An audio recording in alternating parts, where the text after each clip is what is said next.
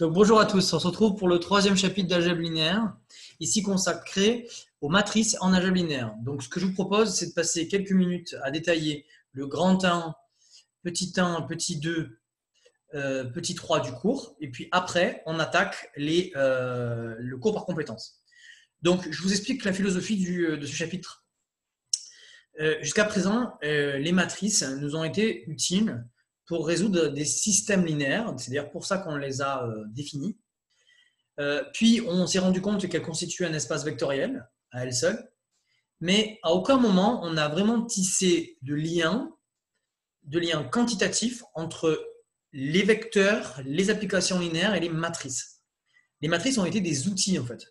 On a réduit des matrices en ligne ou en colonne de sorte à pouvoir déterminer le, rang euh, d'une application linéaire ou le rang d'une famille. Mais à aucun moment on a dit qu'une matrice était égale à quelque chose en lien avec les applications linéaires ou les vecteurs.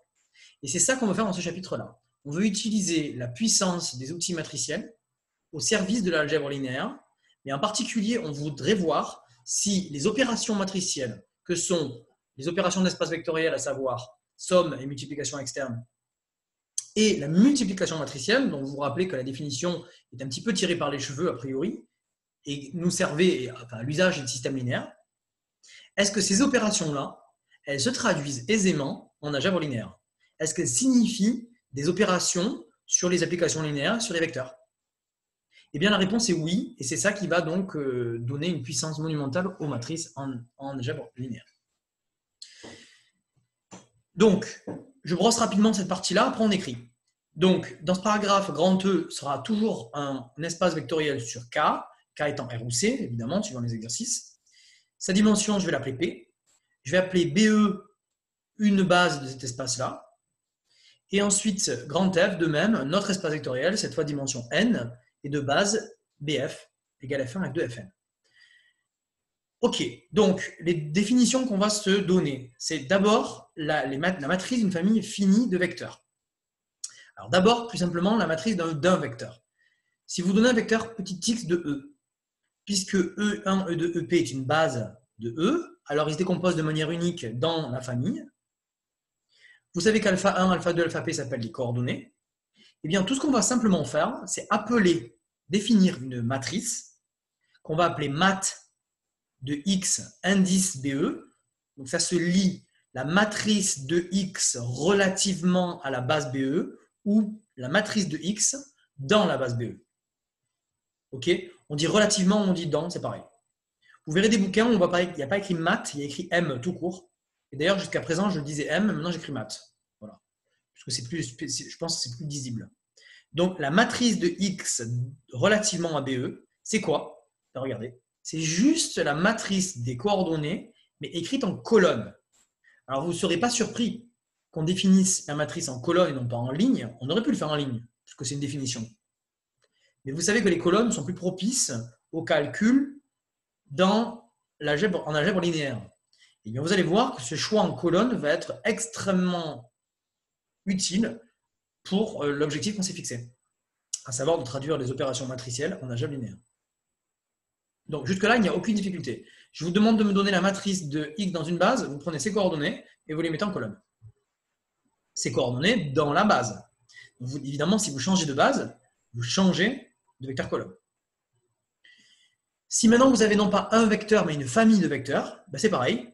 Sauf que regardez, si je vous demande la matrice relativement à BE d'une famille de Q vecteurs, eh bien vous prenez les Q vecteurs, vous prenez leurs coordonnées, et la colonne numéro, vous créez une matrice dont la colonne numéro i, ou numéro j plutôt, c'est la liste des coordonnées de xj en colonne. Donc ça, la première colonne, c'est les coordonnées de x1, point, point, point, et la dernière colonne, c'est les coordonnées de xq. Donc vous voyez, c'est des choses, rappelez-vous, en fait, qu'on a déjà faites. Ça nous est déjà arrivé, pour étudier la liberté d'une famille, de prendre les vecteurs dans R puissance n, des n par exemple, de les mettre en colonne, de créer la matrice des vecteurs colonnes, et d'étudier le rang de cette matrice. Et ce que je fais dans ce cours, c'est que je donne un nom à cet objet. Cet objet, je l'appelle la matrice de la famille relativement à une base. Voilà. Ce ne sont que les définitions. Une fois qu'on a fait ça, eh bien là, on ouvre la boîte de Pandore. Parce qu'une fois qu'on a fait ça, on va euh, avoir des outils magnifiques qui vont se mettre en place. D'abord, on va définir ce qu'on vient de faire pour les vecteurs, on va le faire pour les applications linéaires. Si on se donne une application linéaire qui va de grand E dans le grand F, eh bien, on va utiliser ce qu'on a fait avant pour définir la matrice de l'application linéaire. Donc, on va, définir, on va remplacer une application par une matrice. Comment? Eh bien, si l'ensemble de départ est muni d'une base BE et si l'ensemble d'arrivée est muni d'une base BF, on va définir la matrice qu'on va noter mat de BE, BF de U et qu'on lit matrice de U relativement dans les bases BE, BF.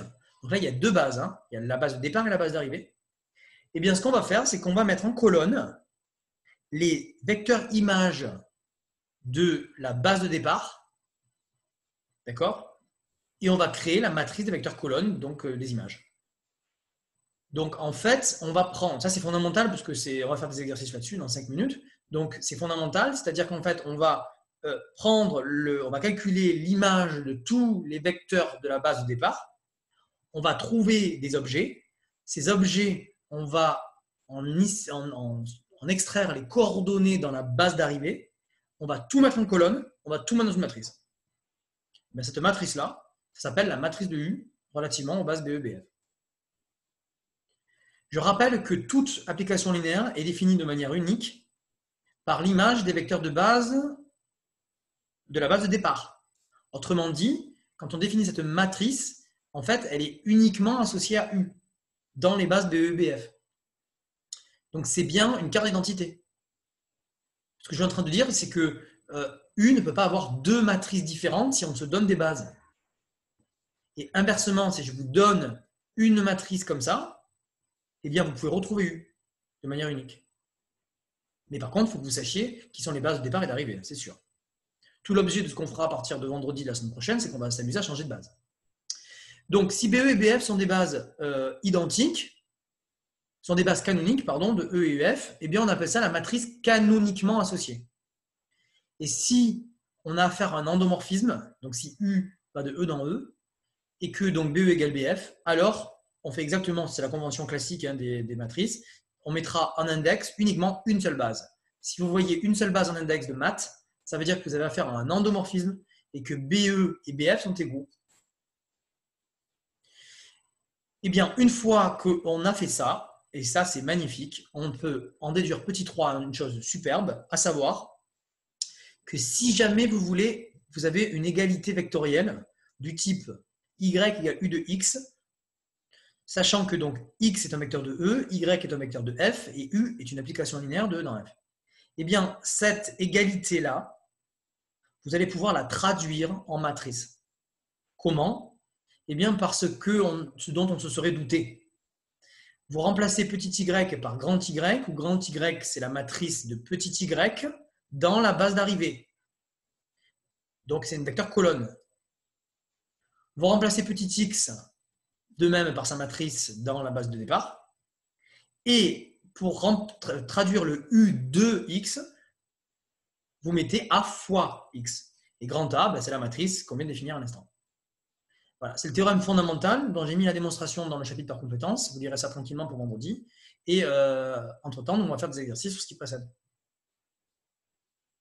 OK? Est-ce qu'il y a des questions sur cette, euh, cette partie orale? Non, ça va. OK. Donc, on va voir ça en exo. Si vous avez des questions, n'hésitez pas. Donc, euh, on prend une feuille, c'est parti, on passe au chapitre par compétence et on fait des exercices sur les objets que je viens de définir. Donc, cours par compétence, les matrices en algèbre linéaire, chapitre numéro 19, 10, euh, oui, 18 euh, j'ai dit, pardon. Donc, chapitre 18. Donc, notez que NPQR seront des entiers euh, naturels non nuls. Notez euh, donc euh, en première partie qu'on va étudier les matrices en lien avec les applications linéaires. Donc, les notations dont on a besoin pour le cours par compétence, pour s'y retrouver quand même, c'est que grand E est muni d'une base BE et que grand F est muni d'une base BF que je note respectivement E1, E2, EP, F1, F2, Fn. Alors, première compétence à acquérir, c'est déterminer la matrice d'un vecteur petit x relativement à une base B. Donc, la technique pour déterminer cette matrice, c'est uniquement la définition. Donc, je rappelle la définition, ici je la euh, donne en français pour que vous ayez un repère sur ce qu'il faut faire. Donc, pour trouver la matrice de petit x relativement à une base B, alors B, plutôt BE, hein, mettez BE, BE, relativement à une base BE, bien, on construit la matrice des coordonnées de petit x dans BE. Donc la matrice colonne, c'est bien ça qu'il faut vraiment euh, repérer. On travaille toujours en colonne, comme ce qu'on faisait d'ailleurs en géométrie euh, au lycée. Voilà. Donc exemple numéro 1, c'est à vous. Exemple numéro 2 en même temps, parce que donc, ce sont deux exemples. Le premier très simple. Je vous donne donc deux vecteurs, l'un de k puissance p et l'autre de kn crochet x, et je vous demande de trouver leur matrice dans la base canonique. Donc correction, sur l'exemple numéro 1 et l'exemple numéro 2, donc ce sont deux exemples très simples, mais sans lesquels on ne peut pas faire la suite. Si je vous donne un vecteur ligne de k puissance p, sa matrice dans la base canonique, c'est simplement la transposée de x. Donc x1, x2, xp en colonne.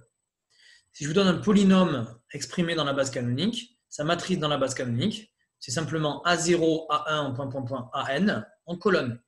Donc c'est une matrice à n plus une ligne et à une colonne. Question un petit peu plus délicate. Si maintenant je change de base, tant que je suis dans les bases canoniques, tout va bien se passer. Mais dès qu'on change de base, ça va être un petit peu plus compliqué. Est-ce que quelqu'un voit comment faire pour trouver le, les coordonnées de grand P, non plus dans la base canonique, mais dans la base x-1 puissance k, pour k allant de 0 à n. Donc, correction de l'exercice en question, un petit peu plus délicat. Donc, il fallait penser à appliquer la formule de Taylor, que je raffiche ici.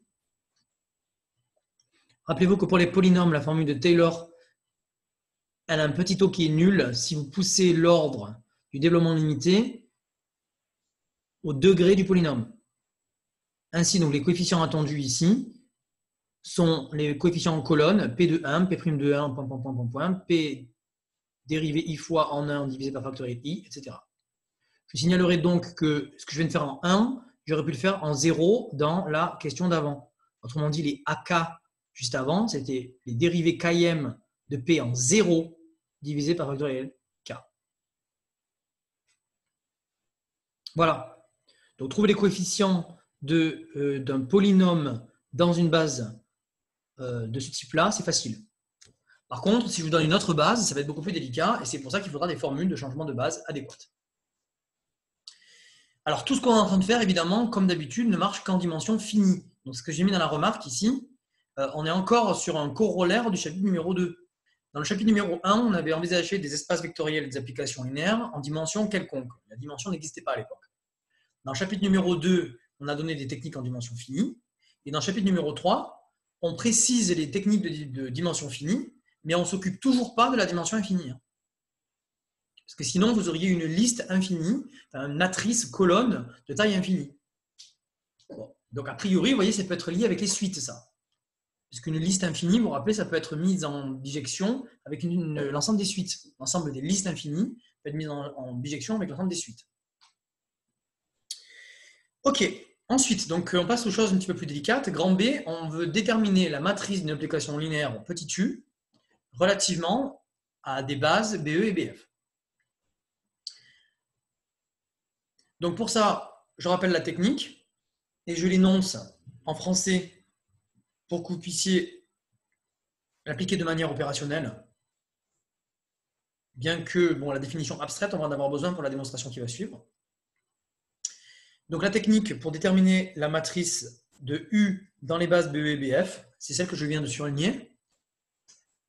Donc elle se note comme ça, mat de BE, BF de U.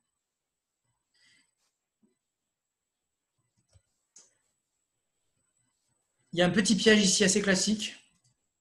Donc la taille de la matrice, c'est NP. Mais alors attention, attention, N, rappelez-vous, c'est la dimension de l'arrivée. Et P, c'est la dimension du départ. Donc ça, c'est un petit piège parce que c'est vrai quand on voit MNP, on a l'impression que N, c'est le départ et P, c'est l'arrivée. Eh bien non, c'est l'inverse. Le nombre de lignes, c'est la dimension de l'espace d'arrivée et le nombre de colonnes, c'est la dimension de l'espace de départ. Et c'est quoi les colonnes de cette matrice-là? Eh bien, c'est les matrices de U de EJ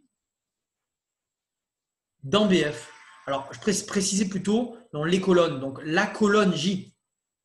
Donc, c'est la matrice, ou alors, vous dire, dont les colonnes sont les maths de U de EJ, avec J, le numéro de colonne. Évidemment.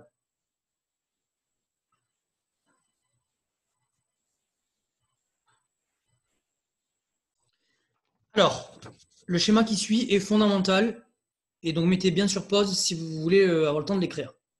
Voilà, je vous présente ici géométriquement à quoi ça ressemble la matrice d'une application linéaire relativement à deux bases. Donc, déjà, premier piège, le nombre de lignes, c'est la dimension de l'arrivée et le nombre de colonnes, c'est la dimension du départ, puisque vous mettez en colonne U de E1, point, point, point, U de EP, et je rappelle que P, c'est la dimension de l'espace de départ. Ce que je vous ai mis en vert et en rouge, c'est des choses qu'il ne faut pas mettre dans la matrice lorsque vous la présentez sur une copie. Nous, ce qu'on veut sur la copie, c'est uniquement les, coefficients euh, réels ou complexes qui sont dans la matrice.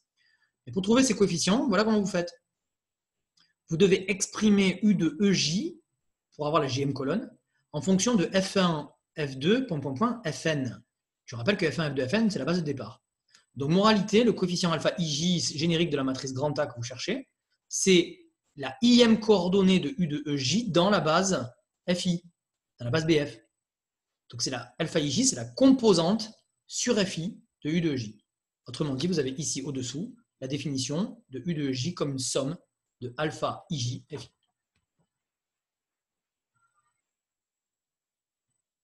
Voilà. Maintenant, c'est parti. On peut donc euh, donner deux exemples qui vont vous permettre de voir en fait l'intérêt de faire ce genre de manipulation. On va transformer une application linéaire un petit peu abstraite en un tableau de scalaire. Donc évidemment, on pense tout de suite à Python. Ce qui est formidable, c'est qu'on peut stocker maintenant des applications linéaires dans Python en faisant des matrices. C'est beaucoup plus facile, c'est beaucoup plus visuel de voir une application linéaire sous forme de matrice plutôt que sous forme de définition abstraite comme on va le voir tout de suite. Premier exemple, exemple simple, on se donne une application qui va de R2 dans R3. Je l'appelle petit u. Il y a XY, elle associe ce triplet. J'ai pris totalement au pif. Hein. Donc ici, petite erreur évidemment, vous barrez ça, c'est en trop, il n'y a pas de Z dans euh, cet exercice. Je vous laisse supprimer. Hein. Donc on se donne une application linéaire, x, x moins y, 2x. Et ça, vous le supprimez.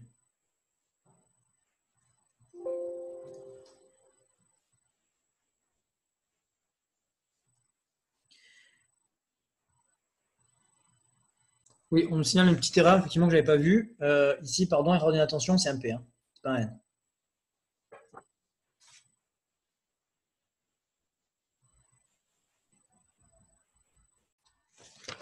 Donc voici la correction de l'exercice, euh, premier exercice. Donc l'application U a pour matrice dans la base canonique la matrice suivante. On a simplement calculé U de 1, 0, et on a mis les trois coordonnées dans la première colonne puis U de 0, 1, les trois premières coordonnées, les trois coordonnées la deuxième colonne. Ici, tout marche évidemment très très bien, puisque autant on peut remplacer ici, c'est très facile de calculer U de n'importe quoi, autant c'est très délicat de trouver les coordonnées de U de n'importe quoi dans n'importe quoi. Si, si dans la base de l'espace d'arrivée, il n'y a pas la base canonique, vous ne pouvez pas trouver la matrice facilement. Donc, je rappelle dans l'exemple numéro 2, une application linéaire un petit peu abstraite qu'on avait étudiée ensemble. Euh, on, travaillait dans R puissance n, on munissait R puissance n de la base E1 et de En, qui est la base canonique, qui peut être n'importe quelle base d'ailleurs, pas un problème. On définit l'application V appartient à L de Rn, il manque une parenthèse ici. Donc un endomorphisme. Et je vous rappelais que Voilà, correction de l'exercice euh, suivant. Donc la matrice en question, la voilà. Puisque les V de EK veulent tous EN jusqu'à K égale N-1. Et pour la dernière colonne, les coordonnées de V de EN sur la base E1 et de EN sont 1, 1, 1, 1, 1. Donc vous voyez ici que la l'application V, qui est au départ très abstraite, devient très concrète grâce à la matrice qui la représente. En particulier, on va bien vite voir que le rang de la matrice, c'est le rang de l'application. Autrement dit, ici, comme vous voyez qu'il y a n-1 colonnes qui sont identiques, c'est que le rang, c'est donc 2. Donc, rappelez-vous, on avait fait cet exercice précédemment. Le rang de V, c'était 2. Et bien, le rang de V, c'est pareil que le rang de sa matrice. Voilà. Donc, on vient de tisser un lien clair entre le rang d'une application et le rang d'une matrice. Dernier exemple, un exemple avec des polynômes. Donc, quand je donne une application linéaire W, de R de crochet X dans R3 crochet X, qui a tout polynôme P associé, X plus 1 fois P moins P'. On vous demande de trouver la base canonique, l'application, la, matrice représentative de W relativement à BE et à BF, qui sont les bases canoniques de l'ensemble de départ et d'arrivée. Voilà donc la réponse au problème. Donc, on doit calculer absolument les images de 1 x x carré par W. Donc, on, injecte simplement les polynômes dans la définition. On obtient trois polynômes. Et attention, l'erreur classique, c'est de croire qu'on vous demande dans la matrice de mettre des polynômes. Ce n'est pas le cas. On vous demande W de 1. Il s'exprime comment en fonction de 1, x, x carré, x cube. Évidemment, comme on obtient 1 plus x, les coordonnées, c'est 1. 1, 0, 0. Dessous, moins 1, 1, 1, 0. Et ensuite, 0, attention, parce que 0 sur 1 moins 2 sur x, puis 1, 1. Voilà. Donc finalement, l'application linéaire W, qui est au départ une application polynomiale, on la ramène à un tableau de scalaire.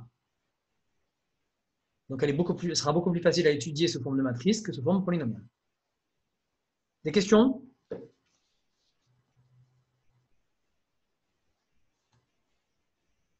C'est OK pour tout le monde? Là, il faut que j'ai perdu personne. Si je perds quelqu'un sur cette partie-là, la suite, vous êtes largué. Hein. Donc, tout le monde a compris? Oui. Oui. Tant mieux. Je ne peux pas aller plus lentement. Hein. Je ne peux pas. Hein. Enfin, si je pourrais, mais je ne m'appellerai pas Monsieur Gueux. Alors, regarde, remarque numéro 2. Donc, vous avez ici euh, une euh, matrice. Je, je, une petite remarque quand même assez aisée. C'est que la matrice de l'identité dans n'importe quelle base, c'est quoi? Ça consiste à écrire donc, la matrice dans n'importe quelle base, E1 ou de EN, de euh, l'application identité de E. Eh bien, c'est quoi? C'est de calculer identité de E1, point, point, point, point, point, identité de EN dans E1, E2, EN. Regardez. C'est bien ça la définition. Mais l'identité de E1, ça fait E1. Donc ici, en première colonne, on va mettre 1, puis que des zéros. Et vous avez compris comment ça marche pour la suite? En fait, c'est une diagonale de 1 avec que des zéros partout. Autrement dit, ouf, notre définition, elle est super cohérente. C'est que la matrice de l'identité dans n'importe quelle base, c'est la matrice identité. Donc, il y a une certaine cohérence. On sent qu'il y a un transport de structure. C'est-à-dire que l'identité, en, en tant qu'application linéaire, est envoyée sur la matrice identité. OK? Grand C. On veut traduire donc matriciellement y égale u de x par le théorème fondamental que j'ai cité tout à l'heure et que je veux qu'on applique ensemble maintenant sur des exemples précis. Donc, il faut absolument l'écrire parce qu'il est, euh, comme son nom l'indique, fondamental. il n'a pas de nom. On, euh, on avait le théorème fondamental de l'analyse, puis le théorème fondamental de l'algèbre. Celui-là, il n'a pas de nom, mais ce n'est pas parce qu'il n'a pas de nom qu'il n'est pas important. Donc attention, simplement, l'énoncé est un petit peu délicat. Ça permet de bien comprendre si on est tous euh, d'accord sur les notations du cours. Donc, je rappelle, petit x, c'est un vecteur d'un espace vectoriel. Petit y, c'est le vecteur d'un autre espace vectoriel. Et on a envie d'envoyer x par y sur y par u, qui est une application linéaire de dans F. Ça, c'est donc les notations qui sont euh, les notations euh, vectorielles. Maintenant, on introduit les notations matricielles. Donc grand X représente petit x dans BE. Donc c'est la matrice de X dans BE. Grand A, c'est la matrice de petit u relativement à BE et BF. Grand Y, c'est la matrice de petit y dans BF.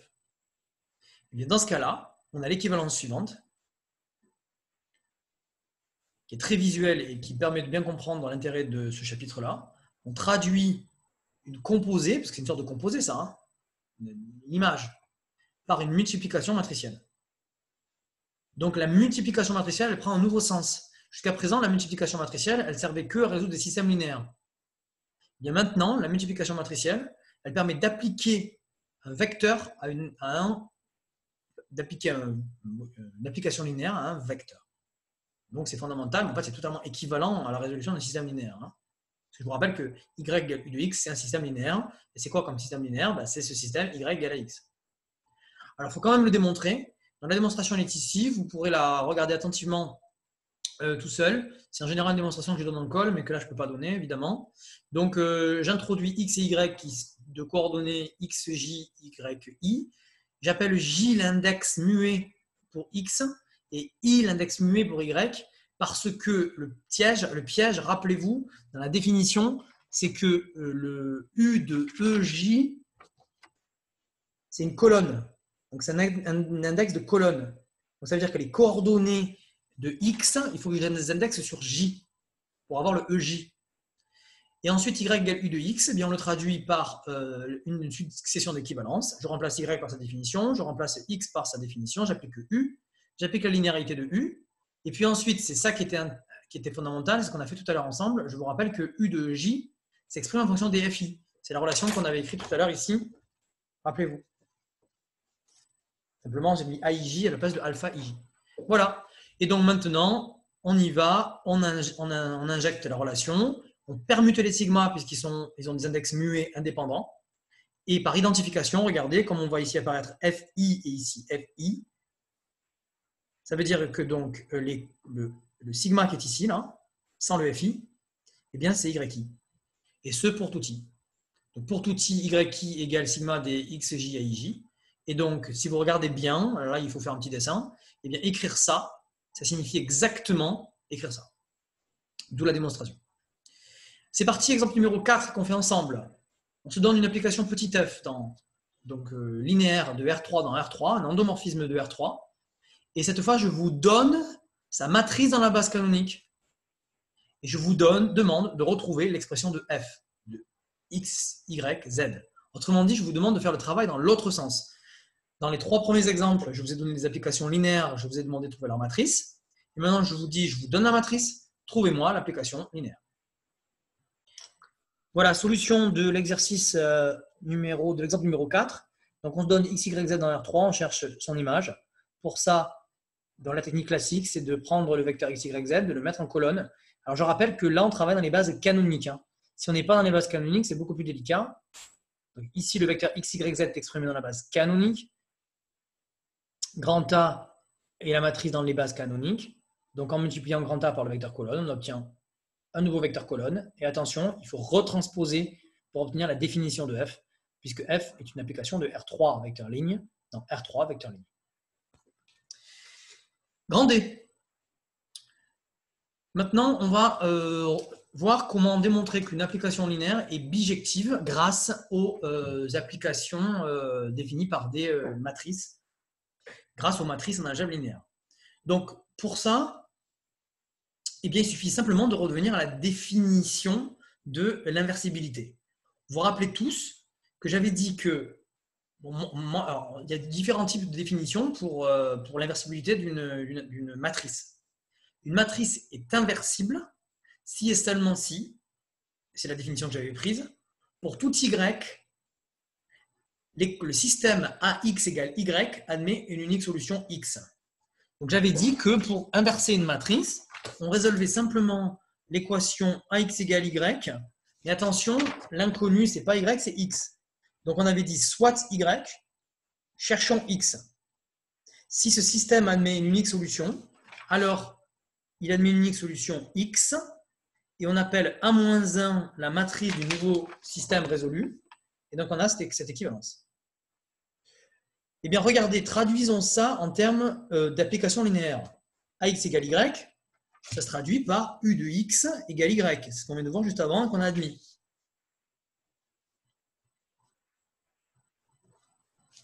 Regardez ce que ça donne.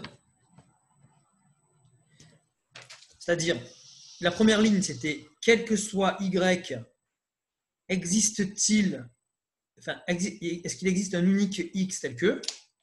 Donc ça, c'était la première chose qu'on avait euh, dite euh, ensemble, c'est la définition de l'inversibilité d'une euh, matrice. Eh bien, maintenant, on fait de même avec les applications linéaires.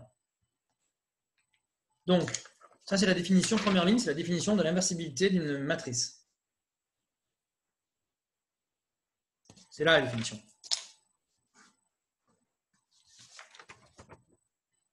Voilà. Maintenant, on y va, on fait ça avec un parallèle, parallèle avec la bijectivité. Évidemment, vous voyez que la bijectivité de U, c'est exactement lié à l'inversibilité de Y, de grand A, pardon. Grand A. Puisque la définition de la, vous vous rappelez tous, c'est quel que soit petit y, il existe un unique x tel que. Donc c'est génial ça signifie que l'inversibilité de grand A est équivalente à la bijectivité de petit u. Vous êtes d'accord? Je ne sais pas, peut-être que certains d'entre vous avaient déjà vu que c'était une technique euh, identique. En début d'année, quand on a euh, introduit les fonctions réciproques, on avait donné cette définition-là. On avait dit, pour trouver la fonction réciproque, comment on fait On résout ce système. On cherche x. Ben, pour l'inversibilité, rappelez-vous, l'inversibilité des matrices, on avait fait exactement la même chose. À part que, ici, les vecteurs, ils étaient en ligne, ou quelconque en tout cas, et là, ici, les vecteurs sont toujours en colonne. Donc ça montre bien en fait que mettre les vecteurs en colonne dans ce chapitre, c'est important. Maintenant, on regarde ce qui se passe de ce côté. Maintenant qu'on sait que grand A est inversible, ça veut dire que petit u est bijective. Et regardez, A-1, c'est la nouvelle matrice qui est associée à l'application qui est ici. Mais l'application qui est ici, c'est U-1. Donc ça veut dire que grand A-1, c'est la matrice de U-1. Donc ça veut dire que là, on a toutes les notations qui se recoupent. Et donc des notations qui paraissaient au départ, euh, qui paraissaient indépendantes, sont en fait maintenant liées. A-1, c'est la matrice de U-1. Voilà, proposition numéro 1. Donc, pour montrer qu'une application linéaire est bijective, jusqu'à présent, on avait un petit peu de travail. Enfin, il y avait des gens qui s'en sortent déjà très, très, très bien, puisque euh, on avait dit que bijectif euh, est équivalent à injectif et surjectif. Et donc, pour ce faire, on prenait la plupart du temps, on prenait la plupart du temps euh, l'étude du noyau. Donc, on résolvait d'abord un système homogène. On trouvait le nombre de générateurs du noyau. Fallait démontrer que le noyau était engendré par le, était réduit au singleton 0 pour avoir l'injectivité. Et puis après, pour la surjectivité, on pouvait parfois raccourcir le problème grâce au théorème du rang. Et eh bien ici, ça va être encore plus court. À savoir, U est un isomorphisme si et seulement si sa matrice relativement aux bases de départ et d'arrivée est inversible.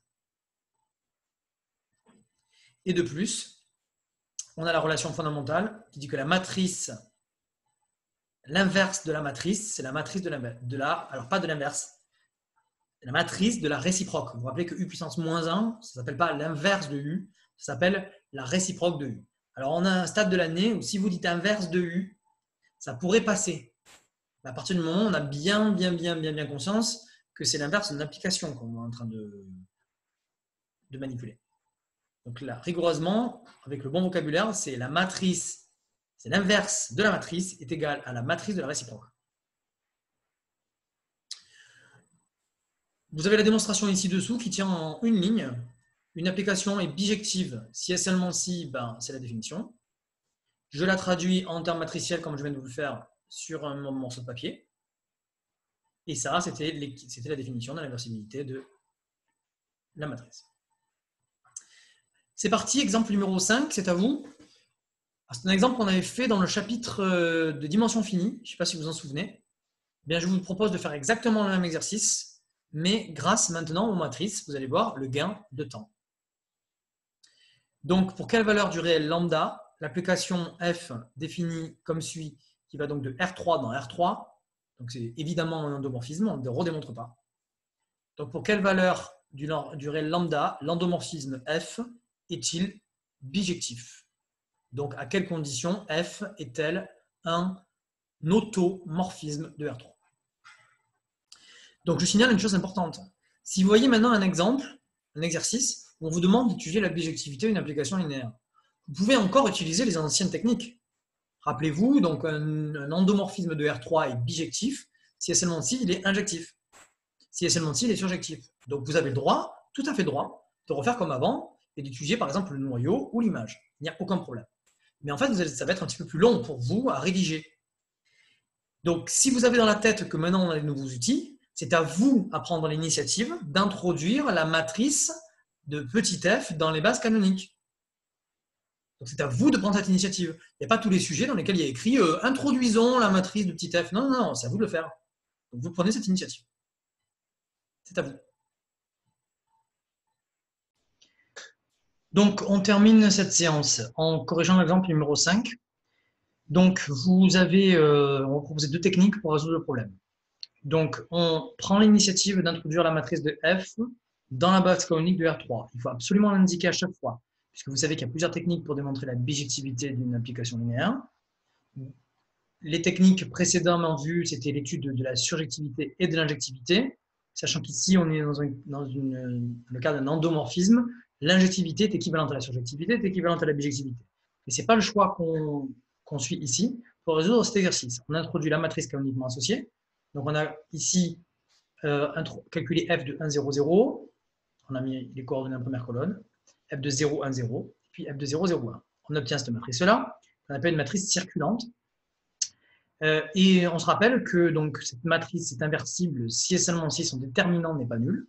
On calcule donc son déterminant a priori de manière assez euh, euh, sans se poser de questions, en fait, en développant le déterminant par rapport à sa troisième colonne. En faisant ça, tout calcul fait, donc nous obtenons lambda cube moins 3 lambda plus 2. Ici, on obtient un polynôme de degré 3, et donc là, on est un petit peu embêté, puisque, a priori, eh bien, il faut trouver ses racines. Euh, et s'il n'y a pas de racine évidente, eh bien, vous savez qu'on n'avait pas de technique classique, sinon Cardan, et euh, Tartaglia, mais qui ne sont pas au programme de sup, qui sont inapplicables, pour résoudre une équation de degré 3. Or, ici, heureusement pour nous, on a ici euh, des racines évidentes, on a moins 2 et on a 1. Donc, 1 est plus facile à voir que moins 2. Et donc, on effectue une division euclidienne de ce, euh, de, ce polynôme par lambda moins 1 et on obtient donc euh, un polynôme de degré 1 fois un polynôme de degré 2. Le polynôme de degré 2, on le factorise grâce au le calcul d'un discriminant et on obtient tout calcul fait que le polynôme de départ faisait lambda moins 1 au carré fois lambda plus 2. Donc les valeurs pour lesquelles grand A n'est pas inversible sont 1 et moins 2. Autrement dit, la matrice est inversible si et seulement si lambda est différent de 1 et moins 2, donc l'application UF est bijective dans cette situation. Alors, ça, c'est un calcul un petit peu bourrin, puisqu'en fait, on, on, développe le déterminant par rapport à cette troisième colonne, et donc, en faisant cela, on obtient donc des calculs polynomiaux un petit peu fastidieux. Pour gagner du temps, on peut utiliser l'autre technique, c'est celle des équivalents en ligne. Rappelez-vous, pour trouver euh, rang d'une matrice, donc ici c'est ce qui nous intéresse, puisque nous voulons savoir si la matrice est inversible. Pour trouver le rang d'une matrice, il y a une technique qui consiste à euh, faire des opérations alimentaires sur les lignes. Une matrice, le rang d'une matrice est invariant par opération alimentaire sur les lignes. On appelle ça des équivalents en ligne. Il une technique très classique pour le déterminant circulant, c'est de remplacer la ligne 1 par la somme de toutes les lignes, elles comprises. Vous voyez que donc, si vous faites ça, vous avez lambda plus 2, lambda plus 2, lambda plus 2. Et donc, si lambda est différent de, si lambda vaut moins 2, eh bien, la matrice grand A n'est pas inversible puisqu'elle comporte une ligne de 0.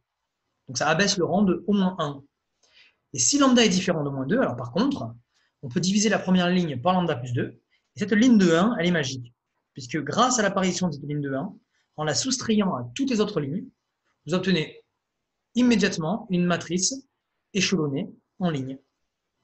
Elle n'est pas réduite, mais elle est échelonnée. Elle a 3 zéros au-dessous de ses économes. Autrement dit, qu'est-ce que vous voyez ici Apparaître en plus le lambda moins 1 deux fois? Autrement dit, si lambda est différent de 1, eh bien vous avez une matrice inversible. Et si lambda vaut 1, vous avez une matrice de rang 1. Et si lambda vaut moins 2, vous avez une matrice de rang 2. Euh, ça, il suffit de le regarder pour, euh, pour s'en convaincre. Voilà, d'où une autre technique très pratique qui nous permet de conclure sur l'exercice en question. Merci à tous et à bientôt.